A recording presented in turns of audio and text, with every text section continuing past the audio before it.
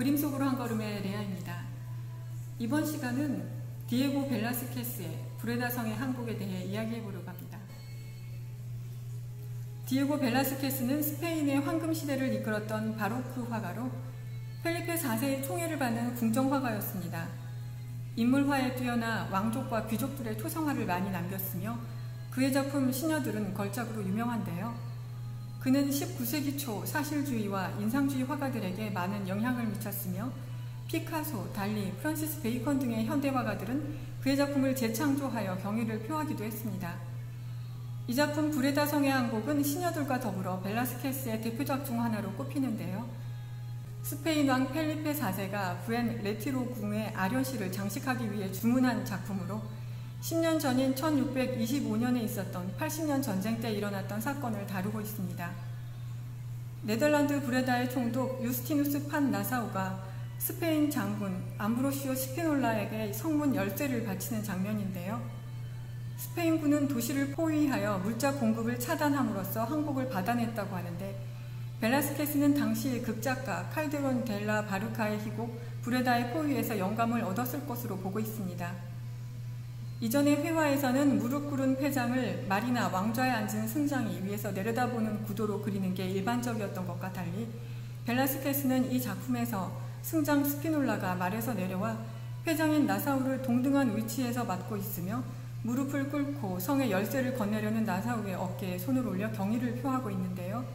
이런 독창적인 해석을 통해 승자의 관대함과 기사도 정신을 보여주면서 동시에 스페인 군의 마강함을 칭송하여 전쟁화 최고의 걸작으로 손꼽히는 작품을 그려내고 있습니다. 대칭이면서 비대칭 구조를 보여주는 이 작품은 왼편으로 오렌지색 길을 든 할버드를 들고 있는 심드렁한 표정의 네덜란드 군과 오른편에 브레다 함락을 축하하는 의미로 모자를 벗고 있는 스페인 장교와 그 뒤로 보이는 창검을 높이 올리고 있는 군기 잡힌 병사들의 모습이 서로 대조되어 보이는 가운데 열쇠를 전달하는 두 장군으로 시선이 집중됩니다. 비록 승자와 패자를 동등하게 그리고 있지만 인물 표현과 구성에서 명확한 차이를 보이는데요. 왼쪽은 인물 묘사도 간결하고 무질서한 모습인데 반해 오른쪽 말의 뒷모습과 화면을 빽빽하게 채운 창들은 위로 상승하는 느낌을 주어 무적의 스페인군을 암시하고 있습니다. 특히 이 창은 창검이라는 별칭이 붙게 만들 정도로 그림의 주요 모티브인데요. 원래 스케치에는 없었지만 나중에 추가해 그려놓은 것이라고 하네요.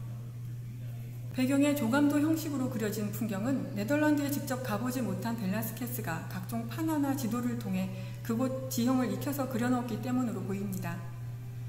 그는 묽은 물감을 사용하여 정교하면서 절제된 터치를 사용하였고요. 두세 개의 적은 밑그림을 바탕으로 캔버스에 직접 그림을 그려서 인물들의 작은 수정들을 상당히 간 즉흥적인 특징이 화면 전체에 보입니다.